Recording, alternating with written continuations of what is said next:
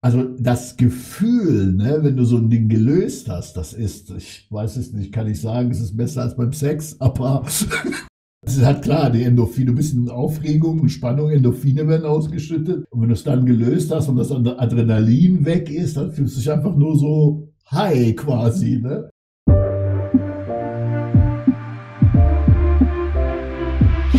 Herzlich willkommen zum Skillbyte Podcast Nummer 39.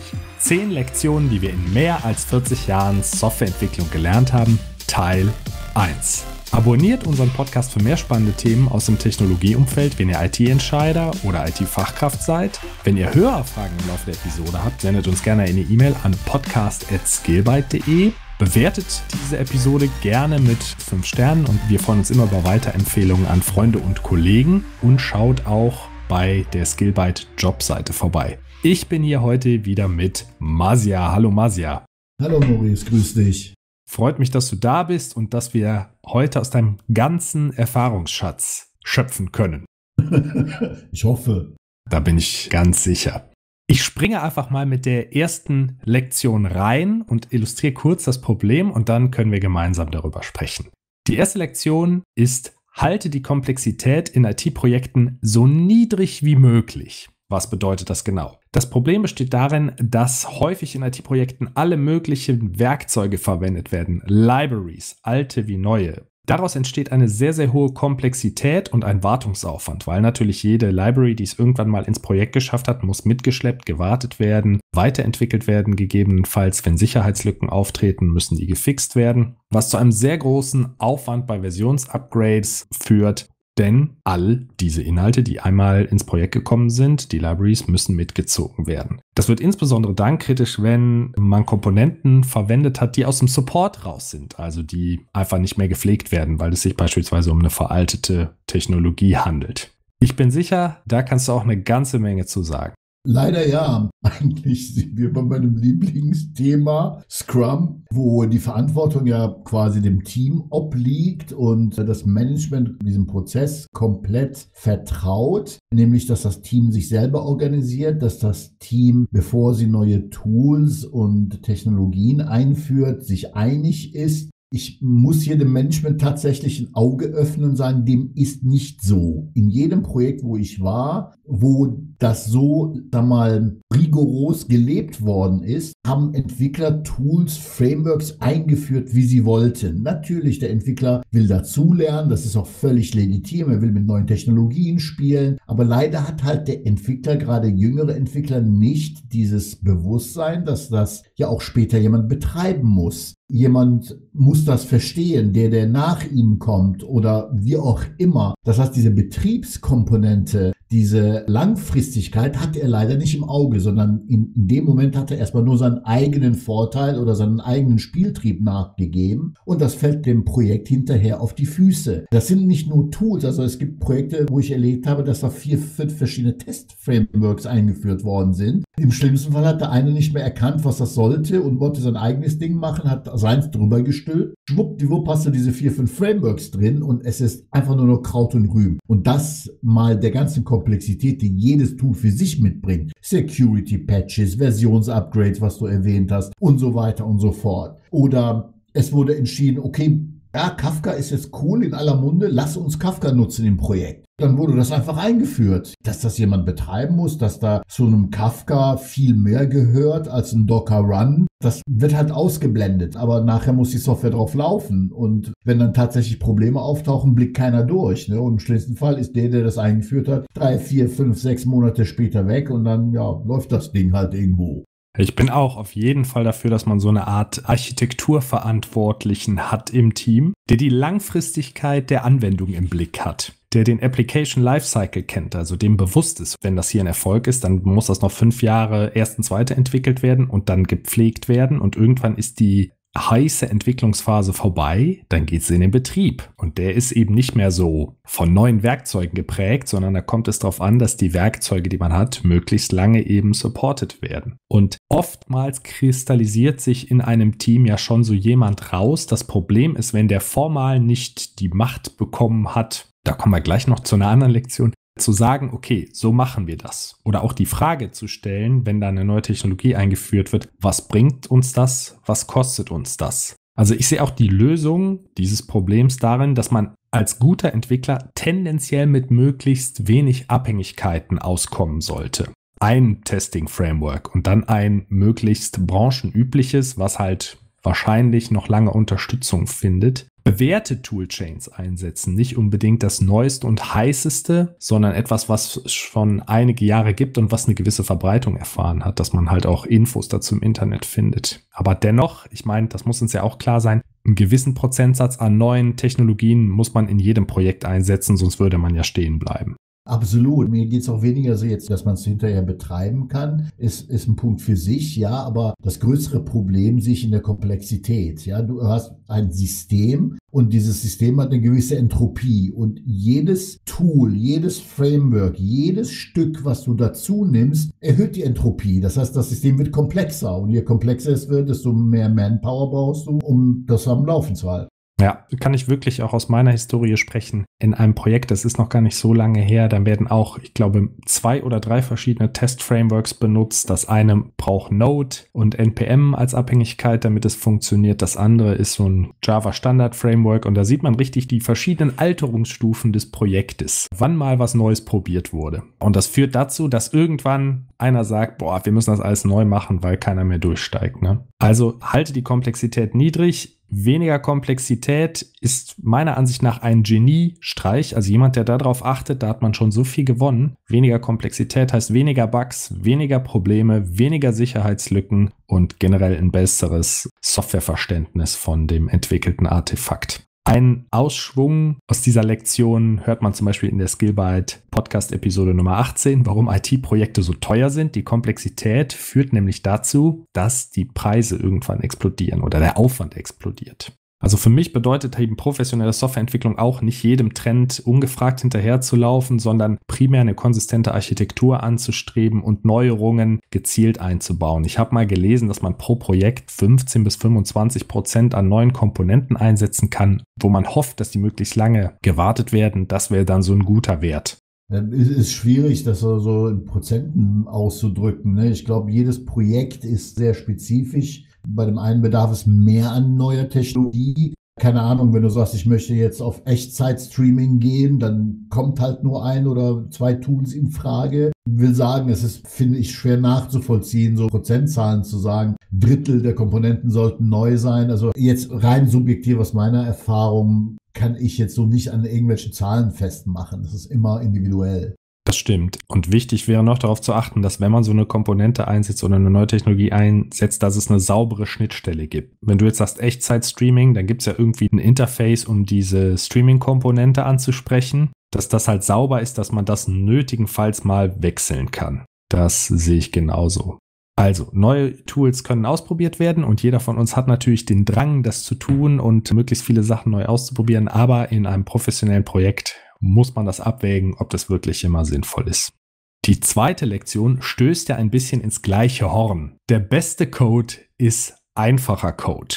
Das ist meiner Ansicht nach auch ein Problem, wenn man die Entwickler sich selber überlässt also dieses Prinzip Do not repeat yourself, ne, DRY, das kennst du ja bestimmt auch. Das wird ins Extreme verkehrt. Also da werden Konfigurationen über Bilderpatterns gebaut und verschiedene Dinge, wo ein einfaches Textfile gereicht hätte, ja, weil man diese Konfiguration nur einmal sozusagen einliest und dann nicht mehr braucht. Da werden Konstrukte aufgesetzt, die wahnsinnig komplex sind für eine einfache Sache und man guckt mehr darauf, eine Funktion nur wirklich einmal zu implementieren, statt dass man sagt, okay, Ease of Reading ist hier wichtig. So eine flache Konfigurationsdatei, auch wenn sich da irgendwie ein Wert doppelt, ja, also Server für Datenbank und Server für, sagen wir mal, E-Mail ist jetzt vielleicht der gleiche, dann steht zweimal der gleiche Wert da drin, dass man trotzdem die beiden Werte einfach reinschreibt, anstelle dass man die Konfiguration da wiederverwendet. Also ich würde tatsächlich auch Einfachheit über Dry favorisieren. Wenn es hart auf hart kommt und ich entscheiden müsste, würde ich mich persönlich immer wiederholen, als äh, das Ganze kompliziert zu machen. Würde ich auch so sehen. Also es gibt natürlich für jedes Pattern, ne, die Entwicklungspattern haben natürlich einen Sinn. Ich möchte hier überhaupt nicht gegen Patterns wettern, aber ich habe schon gesehen, statt einer einfachen Vorschleife wird da ein komplexes Producer-Consumer-Pattern implementiert, wo dann irgendwie zehn Werte von irgendeinem Dienst konsumt wurden, wo man denkt, ja, okay, die zehn Werte hättest du auch einfach als Liste übergeben können, da hätte jeder verstanden, was du willst. Und so muss man das erst ausgraben. Man muss ja sagen, die IDE-Unterstützung ist ja auch tatsächlich so weit, dass die auch Codeblöcke, ja, wenn du sie wiederholst, erkennt. Das heißt, sowas lässt sich schneller auffinden, weil Don't Repeat Yourself kommt ja dann zum Tragen, wenn du Code verändern willst, ja, und musst irgendeine Änderung reinnehmen, dass du es an der einen Stelle machst und an der anderen Stelle vergisst, ja, und dann hast du halt einen Bug drin. Sowas lässt die IDE dann schon erkennen, ja, das heißt, die Unterstützung ist entsprechend da. Das spricht dann für mich auch eher dafür, dass ich das System eher einfacher halte oder meinen Code, als jetzt zwingend unter allen Umständen auf Teufel komm raus diesem Prinzip gerecht werden muss. Genau, also ich glaube, ein gutes Beispiel für Do Not Repeat Yourself wäre zum Beispiel die Berechnung der Mehrwertsteuer, die aktuell bei 16% statt bei 19% liegt. Wenn das natürlich komplett durchs Programm verstreut ist, wird es sehr aufwendig, alle Stellen zu erwischen. Da will man natürlich eine Methode haben, die dann überall aufgerufen wird. Aber gerade bei Konfigurationsklassen oder Klassen, die so REST-Calls aufrufen oder so, da kann man sich dann doch sehr verkünsteln.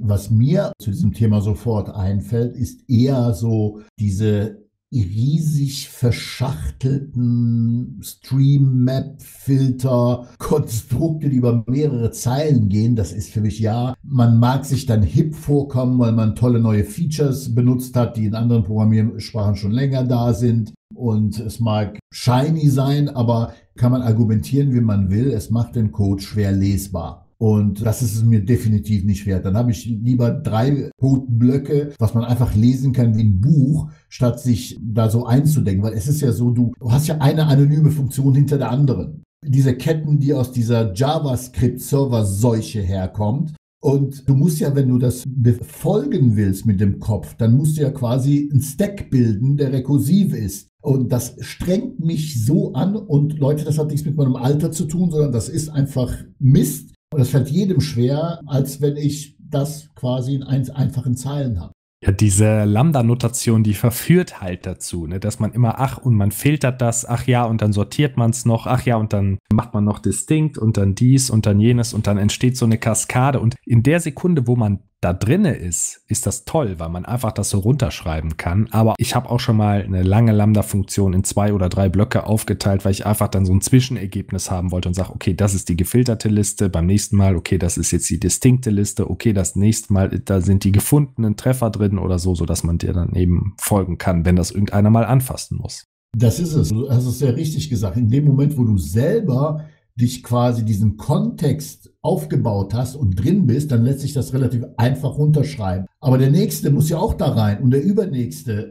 Genau, also meine Regel ist, wenn der Quellcode nicht direkt auch von den Junior-Entwicklungskollegen verstanden werden kann, was da passiert ist, dann ist er zu kompliziert. Punkt. Also klar, dass man mal ein Pattern erklären muss oder dass man sagen muss, oh, hier habe ich eine neue Funktion benutzt, die es in der neuen Java-Version gibt, das verstehe ich, aber da Verschachtelungstiefen und irgendwelche wilden, typisierten ja, genau. Das ist das nächste Ding. Funktionen, die sich dann selber aufrufen, ja, dann wird es ein bisschen zu wild und man muss sagen, hör mal, was machen wir hier eigentlich? Weil meistens mappt man ja nur Daten irgendwie aufeinander, wenn man programmiert und arbeitet nicht an der Space Shuttle Steuerung. Und auch die mappt letztlich nur Daten.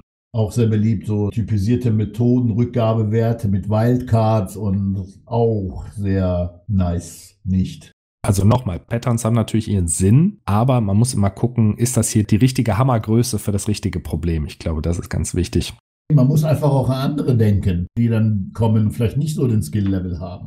Ich habe auch festgestellt, die besten Entwickler, wenn die eine Lösung entwickelt haben, dann hören die nicht auf und committen das einfach, sondern die lesen das dann nochmal so von oben nach unten durch und vereinfachen auch komplizierte Funktionen. Also es gibt so diesen Spruch, jeder Schwachkopf kann Dinge kompliziert machen, aber es braucht ein Genie, um Dinge einfach zu machen. Und die gehen wirklich nochmal diese extra Runde, dass sie sagen, okay, jetzt habe ich zwar eine Lösung, die funktioniert, aber was mache ich hier eigentlich nochmal? Okay, das ist ein Zwischenschritt, der ist logisch, das ist ein Zwischenschritt, der ist logisch und zergliedern das entweder in einzelne Methoden oder einfach in logische Blöcke. Manchmal reicht ja das Einführen von einer Leerzeile schon, weil du kennst ja bestimmt, du klickst in eine Datei auf und hast so eine Wall of Text, 300 Zeilen ohne eine Leerzeile dazwischen, da denkt man schon, boah, was ist hier passiert? da ist es wichtig, dass man auch diese logischen, gedanklichen Schritte dann eben voneinander absetzt und dann möglichst einen einfachen Fluss hinbekommt.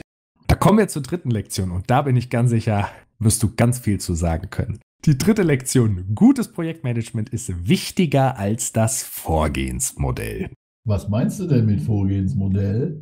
Das Vorgehensmodell könnte das agile Vorgehensmodell sein, V-Modell XT, Wasserfallmodell ganz klassisch oder irgendein, meistens werden die Vorgehensmodelle ja nicht in Reinform ausgeführt, sondern es entsteht so eine mehrköpfige Hydra, die sich an allen Vorgehensmodellen irgendwie bedient und dann ein neues Monster erschafft, nachdem das Team dann arbeitet. Nein, es soll gar nicht so negativ sein. Also natürlich gibt es kein Vorgehensmodell in Reihenform, das muss ja auch immer zur Firma und zum Projekt passen. Aber ich glaube, nach den Jahren kann man schon sagen, dass man gutes Projektmanagement von schlechtem Projektmanagement unterscheiden kann. Aber Maurice, Projektmanagement gibt es doch gar nicht mehr, ist doch alles agil. Ja, auch agiles Projektmanagement ist ja Projektmanagement. Was ich festgestellt habe, ist, es gibt so Projektmanagement, das sich so im Unternehmen entwickelt hat und was dann so implizit durchgeführt wird oder was so von oben aufgestülpt wird. Agil wäre zum Beispiel ein Beispiel für, da kommt eine Entscheidung und das wird häufig von oben aufgestülpt. Ja, wir haben das jetzt gehört, wir machen das jetzt alle, aber diese von oben aufgestülpten Modelle scheitern oft an der Realität. Also das agile Paradigma wird ausgerufen, es wird ein Sprint geplant, die Leute fangen an zu arbeiten und nach zwei Tagen kommt jemand rein und sagt, nee, das ist aber jetzt ganz wichtig. Und dann sagt man, ja, schreib's ins Backlog, gucken wir uns in zwei Wochen an. So, und jetzt hast der Lackmustest. Gelingt das jetzt oder sagt jemand, ja, Moment, ich bin aber der Geschäftsführer, ich will das jetzt sofort? Und so sterben dann die guten agilen Ansätze dann auch ein. Also die verwässern so nach und nach. Ich will das gar nicht so negativ klingen lassen, aber dann landet man meistens bei irgendeiner so Zwischenform. Ja, also Umpriorisierung von oben, Notfälle passieren, ne, Hackerangriff, Sicherheitsprobleme. Das Leben bewegt sich ja auch. Es ist ja auch nicht so starr, dass es sich in ein Modell quetschen lässt. Das Schlüsselpersonal geht, neue Mitarbeiter kommen, die noch keine Vorkenntnisse haben, jemand wird krank. All das kann während der Projekte geschehen und es gibt keinen Plan, der alle Eventualitäten abdecken kann. So, das ist die Realität. Wie löst man das gut? Grundsätzlich ist es ja bei dem agilen Vorgehen, es ist eigentlich eine Wohltat für die bisherige Softwareentwicklung gewesen. Gar keine Frage. Ne? Wir alle oder nicht alle, vielleicht die, die jüngeren Zuhörer nicht, dieses Modell, dass man sich vorher im Prinzip durch Requirement Engineering die Anforderungen genau holen musste, niederschreiben musste und abschätzen musste und dann wurde ein Werkvertrag gemacht. Das hat alles nicht funktioniert. Insofern ist agil schon super. Aber ich glaube, dieses so völlig rigorose Agilität, wie das agile Manifest es sagt oder was daraus geworden ist, sage ich mal, das ist totaler Humbug, weil du kannst keinem Management erklären, pass mal auf, wir können dir nicht sagen, was es kostet, wir können dir nicht sagen, wann es fertig wird. Du hast sowieso nichts zu melden außer die Kohle dahin zu legen. Das funktioniert einfach nicht. Selbst wenn das Management von großen Firmen sagt, ja, wir führen das jetzt ein und egal was, wir machen es agil, agil, agil, trotzdem fragen sie immer nach, wann ist es fertig? Was kostet das? Trotzdem wird Projektmanagement nebenher gemacht. Also man merkt, dass sie auch nicht loslassen können. Klar, ich meine, das wird selbst ich als Softwareentwickler, der dieses Modell ja mitgemacht hat, und sehr froh ist, dass es das auch gibt, sagt, das ist totaler Quatsch. Entwickler können machen, was sie wollen und hin und her. Das funktioniert einfach nicht. Deswegen vermischt sich das im Moment. Klar, wenn du so diese Managementfirmen und Coaches und so weiter, die verdienen ihr Geld damit, dieses Modell einzuführen. Aber aus der Praxis, so wie ich es erlebe, entsteht irgendwie eine Mischform. Dadurch aber, dass diese Mischform nirgends beschrieben ist, vermischt sich das Alte mit dem Neuen und da kommen ganz komische Konstrukte raus. Mein Punkt ist jetzt gar nicht mal so finanziell und Management und Zeitberechnungen und so weiter. Also auch, das werden mit Sicherheit 99 Prozent der Zuhörer zustimmen irgendwie schleicht es sich ein, dass die Komplexitätspunkte plötzlich in Tagen weiter kommuniziert werden. Aber mein Punkt ist rein technisch im Moment und das ist dieses Architekturthema. Dieses Setzen eines Rahmens, in dem man sich frei bewegen kann und nicht einfach blind vertrauen und sagen, das Team macht es schon. A braucht das Team einen Rahmen. Es fühlt sich wohler. Der Entwickler fühlt sich wohler, wenn er einen Rahmen hat, in dem er sich bewegen kann. Im Grunde wie so ein Bauplan auf der Baustelle, ne? Da baut ja auch nicht einfach jeder drauf los, wie er lustig ist, sondern es gibt einen großen Plan und das, so muss das am Ende zusammenpassen. Genau, du gehst ja auch nicht, wenn du ein Haus bauen willst und schmeißt irgendwelchen Handwerkern Geld ins Gesicht und sagst so, guckt mal, wie ihr das Haus aufbaut. Nee, du gehst zu einem Architekten als erstes. Und genauso ist das mit der Softwareentwicklung. Es ist auch sehr schwer, wenn du als Dienstleister, ja, was wir jetzt sind, Verträge machen wollen. Weil wenn ich einem Kunden komme und sage, ja, wir arbeiten zwar, sag mal, als verlängerte Werkbank, das ist unser Modell, das heißt nach Time and Material, aber wenn wir Projekte machen und ich sage agil, dann kommen genau diese Fragen. Und wenn ich dem sage, ja, du hast nichts zu sagen, wir machen das und du kannst nur sagen, stopp. Nach allen 14 Tagen, wenn du ein Sprint-Review hast, wir dir das zeigen, kannst du das Projekt stoppen. Das ist ja toll. Deswegen entstehen diese Mischformen und auch Verträge. Was wir machen, ist dann kein Dienstleistungsvertrag, kein Werksvertrag, sondern agiler Vertrag. Ja, dieses Konstrukt gibt es tatsächlich, wo man gewisse Rahmen festsetzt. Ich glaube, das wird noch ein bisschen dauern, bis das, was ich jetzt gerade sage, den Unternehmen auch tatsächlich bewusst wird und man erkennt, rein so agil, wie es Scrum oder diese Coaches einem propagieren, so geht's einfach nicht. Das wird früher oder später kommen, spätestens wenn dann Projekte zeitlich und finanziell aus dem Ruder laufen, wenn man sich wieder fragen, warum, wieso, weshalb und dann werden diese Argumente auf den Tisch kommen, dann überlegt man sich was Neues. Also das beste Projektmanagement, was ich erlebt habe, ist halt total problemorientiert. Das guckt, wo sind die Stolpersteine oder was steht uns im Weg, was steht unserem Erfolg im Weg und kümmert sich darum. Also es räumt im Grunde einfach nur Hürden aus dem Weg und lässt dem Team schon viel Autonomie, aber kommuniziert die Ziele immer sehr klar. Also da wollen wir hin, da wollen wir hin, da wollen wir hin und alles, was da im Weg steht, Probleme müssen gelöst werden, Leute müssen überzeugt werden und darum kümmert sich das Projektmanagement. Und auf der anderen Seite schützt es das Team, dass das Team in Ruhe arbeiten kann und nicht in endlosen Meetingrunden verhaftet wird, um alle Stakeholder, die es irgendwie geben könnte, abzuholen. Das sind die effektivsten Projekte, in denen ich bisher gearbeitet habe, wo man einfach gesagt hat, okay, wir räumen alle Probleme aus dem Weg, ihr könnt in Ruhe arbeiten. Natürlich alle zwei Wochen oder je nach Sprintende wird gezeigt, woran ihr gearbeitet habt und dann sagt der Kunde, wohin es als nächstes geht. Natürlich gibt es so einen groben, großen Plan, was man erreichen möchte ne, mit den Schlüsselfeatures, aber ja, das war sehr zielorientiert und die Projekte, die ich so gemacht habe, waren sehr erfolgreich. Vielleicht können wir hier auch festhalten, also das ist so mein Fazit aus dem Punkt, gutes Projektmanagement. Wenn Projekte scheitern, ich habe das noch nie erlebt, dass ein Projekt eine Technologie scheitert, weil irgendwas nicht gegangen wäre oder so. Vielleicht bei Raumfahrtunternehmen ist das so. Aber ganz oft sind es menschliche Faktoren. Firmenpolitik oder einfach nicht gut durchgeführtes Projektmanagement, wo dann hinterher das ganze Team demotiviert war. Das sind so die Gründe, warum Projekte scheitern, meiner Ansicht nach. Ja, sicher auch so.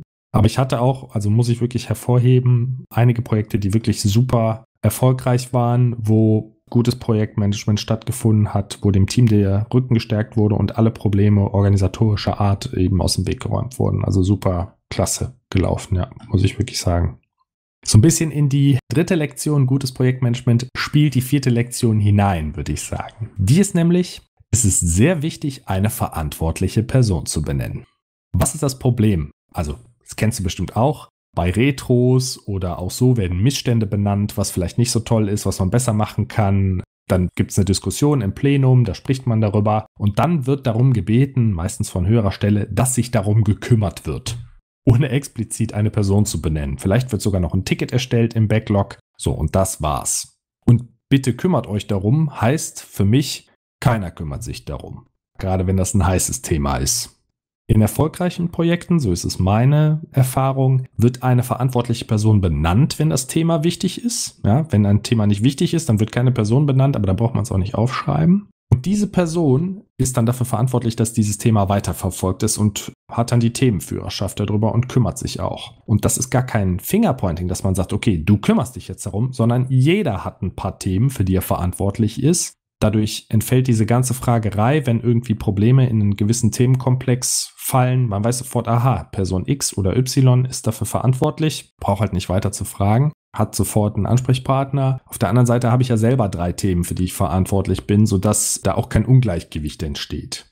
Ich weiß nicht, wie hast du das erlebt? Also auch da ist ja das Team kümmert sich. Ne? Also wenn wir jetzt beim Vorgehensmodell Scrum bleiben, heißt es ja, das Team ist eigenverantwortlich und wenn ich, ich sag mal, eine gute Durchmischung habe von jüngeren und erfahrenen Entwicklern, dann erfolgt quasi alles im Team und die sollen sich selber organisieren. Faktisch aber, auch jetzt organisatorisch innerhalb, selbst wenn man das Modell macht, und man im Team Dinge bespricht, ist es ganz wichtig, für jedes Thema Verantwortliche zu benennen. Das ist ja dieses Prinzip, ja, das hat der eine oder andere schon mal vielleicht gehört, ja, wenn du in einer Menschengruppe unterwegs bist und irgendeiner hat einen Herzinfarkt, wenn du sagst, kann jemand mal einen Arzt rufen, macht es am Ende keiner, weil sich jeder auf den anderen verlässt. Aber wenn du dann jemanden anguckst und sagst, kannst du einen Arzt rufen, dann ist die Wahrscheinlichkeit halt viel größer, dass derjenige oder vielleicht, wenn du das selber bist, überlebt. Genauso ist es in IT-Projekten. Vielleicht weniger dramatisch und man braucht vielleicht nicht so oft einen Arzt, wobei das auch vorkommen kann, je nach Katastrophenlage, ja. Oh mein Gott, ich sehe gerade, das war ein wundervoller Übergang. Die fünfte Lektion. Katastrophen werden passieren, stell dich drauf ein. Da können wir jetzt ja mal wirklich von ein paar Katastrophen erzählen, die wir bisher erlebt haben. Ich fange mal von meiner allerersten Katastrophe an. Da war ich noch Student und habe eine Webseite betreut und habe zu einem gewissen Zeitpunkt, das war vormittags, ich glaube 10 oder 11 Uhr morgens, ein Update gemacht dieser Webseite. Und die Webseite gehörte einem riesigen DAX-Konzern. Habe das Update eingespielt, okay, und gehe auf die Webseite und drücke F5. Und es passiert gar nichts. Und das Rad dreht sich und das Rad dreht sich und das Rad dreht sich. Ich drücke nochmal F5 das Rad dreht sich, das Rad dreht sich. Man geht auf Google, um zu gucken, oh, hat der Rechner kein Internet oder sowas. Alles funktioniert. Die anderen Webseiten funktionieren. Nochmal zurück auf die eine Webseite. Das Rad dreht sich, das Rad dreht sich, kommt keine Website. So, da wurde mir heiß, kalt, heiß, kalt in schneller Folge. Dann bin ich aufgestanden und zu meinem Manager gegangen und habe gesagt, hör mal, ich habe gerade ein Update eingespielt und die Website lädt nicht mehr. Und er macht seinen Browser auf, geht auf die Webseite und das Rad dreht sich das Rad dreht sich und das Rad dreht sich. Das war so wie im Trance, muss ich wirklich sagen. Also ich war total, oh mein Gott, was soll ich machen? Und dann griff er zum Telefon, auch relativ hektisch dann und hat wild rumtelefoniert. Wahrscheinlich hat es noch zehn Minuten gedauert, aber für mich gefühlt eine Ewigkeit. Und dann hat der Kunde angerufen und gesagt, dass er gerade eine Wartung von diesem Server macht, wo ich gerade drauf deployed hatte. Ich war also gar nicht schuld es lag gar nicht an meinem Release, sondern der Kunde selber hatte den Server neu gestartet und waren auch noch zehn andere Firmen auf diesem Server drauf. Also es war quasi eine kurze Downtime von ein paar Minuten, wo ich nichts für konnte, weil ich einfach nicht wusste, dass da jetzt durchgestartet wird oder so. Das heißt, am Ende war ich nicht schuld, aber das will ich nie vergessen. Das war für mich eine Katastrophe und das wäre auch für die kleine Firma, für die ich damals gearbeitet habe, eine Katastrophe gewesen. Am Ende des Tages ist alles gut ausgegangen, aber das weiß ich noch ganz genau. Das war so die erste Feuerprobe. Und ich bin sicher, jeder Entwickler kennt diesen Moment und kann von anderen Situationen erzählen, wo dieses heiß-kalt-Gefühl aufgekommen ist. Also was ist die Lektion hier? Trotz aller Vorbereitung wird es irgendwann zur Katastrophe kommen. Downtimes ganzer Produktionssysteme durch Softwarefehler oder Datenbank-Updates, schlecht reproduzierbare Bugs. Ich weiß, wir haben mal in einem Projekt zusammengearbeitet, da ist alle sechs Wochen ein komplettes Rack ausgefallen. Das Enclosure brauchte ein BIOS-Update oder so, aber wahnsinnig aufwendig zu reproduzieren und jedes Mal, wenn der Fehler aufgetreten ist, ist das ganze System abgestürzt, was einen riesen Impact hatte. Datenverluste, Hardware-Defekte, alles schon da gewesen. Betrug, Hacking, Diebstahl, DDoS. Also das wird passieren. Da muss man drauf vorbereitet sein. Was war deine Katastrophe in jüngster Vergangenheit oder die größte, die du je erlebt hast? Also ganz ehrlich, ich kann nicht sagen, das war jetzt eine große Katastrophe hier oder da der ganz normale Wahnsinn, sag ich mal. Ja? Ausfälle hier, da, oh Gott, unser Git baut nicht und oh Gott, unser Produktionsserver ist down. Das ist eigentlich Normalität, dass das kommt. Ich muss ganz ehrlich sagen, es ist nichts dabei, was mich geschockt hätte. Ja, so gerade wo ich angefangen hatte und so, dachte ich, oh, hier ein IT-System, Mensch, da alles Ingenieure und hier komplexe Systeme, wenn das läuft, dann läuft und da passiert nichts. Bei den ersten ein, zwei Mal zuckst du ein bisschen aber dann, also das ist wie Hornhaut, weißt du. Klar, werde ich es nie vergessen, irgendwie bei einem großen Systemhaus am Anfang, wo wir Mail-Server betreut haben für, keine Ahnung, so 20.000 Leute und die konnten keine Mails verschicken. Ja, da hast du gezittert und gebibbert, aber also, es kamen danach noch schlimmere Dinge. Ja, hinterher, wenn das Problem gelöst ist, kann man darüber lachen. Aber in dem Moment, wenn man nicht weiß, woran es liegt, das ist schon also das Gefühl, ne, wenn du so ein Ding gelöst hast, das ist, ich weiß es nicht, kann ich sagen, es ist besser als beim Sex, aber. Okay, ja, ich äh, weiß, was du meinst. Ja, man kommt sich vor wie Superman, ja.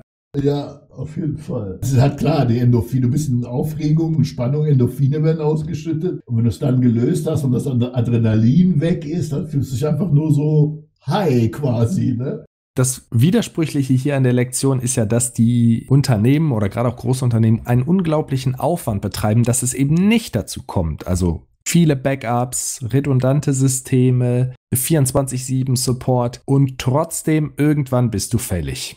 Irgendwann passiert die Katastrophe. Ich weiß nicht, gerade wenn man ein System schnell weiterentwickelt, irgendwo ist ein Fehler drin, den keiner bedacht hat. Ob es ein Schaltjahr ist, das hatte ich auch mal bei einem System. Da fehlte der letzte Tag, weil das Jahr 366 Tage hatte statt 365. Das war nicht bedacht worden. So konnte am letzten Tag keine Buchung erfolgen. Das sind alles so Dinge, die können passieren. Und das Wichtige ist, damit zu rechnen. Ich finde, daran erkennt man immer so super gut den Unterschied zwischen Junior-Developern und Senior-Developern, weil da passiert das, was du beschrieben hast. Die einen haben die Hornhaut, die anderen haben die noch nicht. Ja, der Junior Developer ist, so wie ich damals, schweißnass gebadet, völlig paralysiert und weiß nicht, was er machen soll. Und der Senior Developer zieht die Handschuhe an und greift ins Feuer, so ungefähr. Bleibt ruhig. Okay, das Kind ist jetzt im Brunnen gefallen. Welche Optionen haben wir? Was können wir machen? Was waren die letzten Schritte, die du getan hast? Welchen Impact hat das? Im Grunde, wie gehen wir jetzt vor? Natürlich zügig, aber diszipliniert wird an einer Lösung gearbeitet. Und das ist auch sozusagen die Lösung dieser Katastrophe, das ist auch ganz wichtig, dass das Management mitspielt. Taskforce zusammenstellen, alle stehen und liegen lassen und sich um das Problem kümmern. Den Rücken dieser Taskforce frei halten, ja, vielleicht alle paar Stunden mal den Status abfragen, damit man das entsprechend kommunizieren kann Richtung Vorstand oder Kunden. Den Fortschritt und des aktuellen Problemstatus monitoren. Was kann man machen? Wo befinden wir uns? Und wirklich sehen, dass das Team die volle Konzentration auf das Problem werfen kann und nicht gestört wird. Kein Telefon und so weiter also außer zur Problemlösung, dann erlaubt und auch dem Team dann die nötigen Ressourcen, also Experten zum Beispiel, die sich mit einer Technologie ganz besonders gut auskennen, die dann eben Hilfestellung geben können in kritischen Situationen zur Verfügung stellen. Und an das Team muss man einfach sagen, bleibt dran, ihr müsst durchhalten. Es gibt ein tolles Zitat von Winston Churchill, das fällt mir in diesem Zusammenhang immer wieder ein. If you're going through hell, keep going. Also nicht stehen bleiben, weitermachen, dranbleiben, das Terrier-Gen auspacken und einfach weiter daran arbeiten, bis das Problem gelöst ist. Ja, und unterwegs Schadensminimierung betreiben natürlich. Aber ich kann es immer noch nicht glauben. Du hast keine Katastrophe erlebt? Nee, ich überlege echt die ganze Zeit, aber also wie gesagt, ne, das ist halt relativ Katastrophe. Also ich weiß, dass wir schon in Projekten gearbeitet haben, wo Leute panisch über den Flur gelaufen sind, weil die Webseite offline war. Wenn das dich nicht aus der Reserve gelockt hat, dann hast du auf jeden Fall mehr Hornhaut als ich. Ich sage, es ist eine Sache der Perspektive, weißt du? Und du brauchst irgendwann den kühlen Kopf bewahrt. Ich weiß, einmal ist ein Manager aus dem Urlaub zurückgekommen, hat sein Notebook eingesteckt und auf dem Notebook lief noch irgendeine Serverkomponente vom Produktivsystem, die in der Entwicklung da noch gestartet war. Und er klappt das Notebook auf und dadurch, dass er eine Zeit lang im Urlaub war, zieht das Notebook alle Events von Zeitpunkt, ich gehe jetzt in Urlaub bis Zeitpunkt, ich bin wieder da, nach von dem Produktionssystem und blockiert das ganze Produktionssystem stundenlang. Und keiner wusste, woran es liegt, weil keine Änderung erfolgt ist, außer dass dieser Mensch aus dem Urlaub zurückgekommen ist, was man ja auch erstmal nicht weiß. Das war auch eine heiße Phase. An diesen Fall kann ich mich auch erinnern, vor allen Dingen, als wir es rausgefunden haben.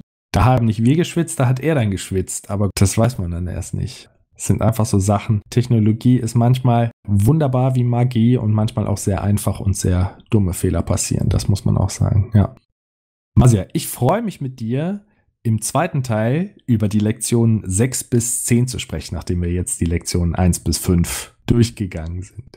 Ja, sehr gerne, freue ich mich auch. Bis dahin kann ich ja nochmal überlegen, ob mir noch irgendwelche Katastrophenfälle einfallen. Genau, dann greifen wir den Faden wieder auf und machen noch so einen Masias Katastrophenblock am Anfang. Sehr schön bin ich gespannt, wo dir die meiste Hornhaut gewachsen ist. Wenn unsere Zuschauer Fragen haben oder Feedback zur aktuellen Podcast-Episode, können Sie uns eine E-Mail schreiben an podcast.skillbyte.de. Wir freuen uns immer über Bewertungen oder Weiterempfehlungen des Podcasts an eure Freunde und Kollegen. Schaut auf der Skillbyte Jobseite vorbei. Wenn ihr mehr spannende Technologiethemen lesen möchtet, schaut auch auf der Skillbyte Webseite slash blog vorbei und abonniert natürlich unseren Podcast. Masia, es war wie immer eine Freude. Ich wünsche dir noch einen schönen Abend. Bis dann, tschüss Maurice. Tschüss.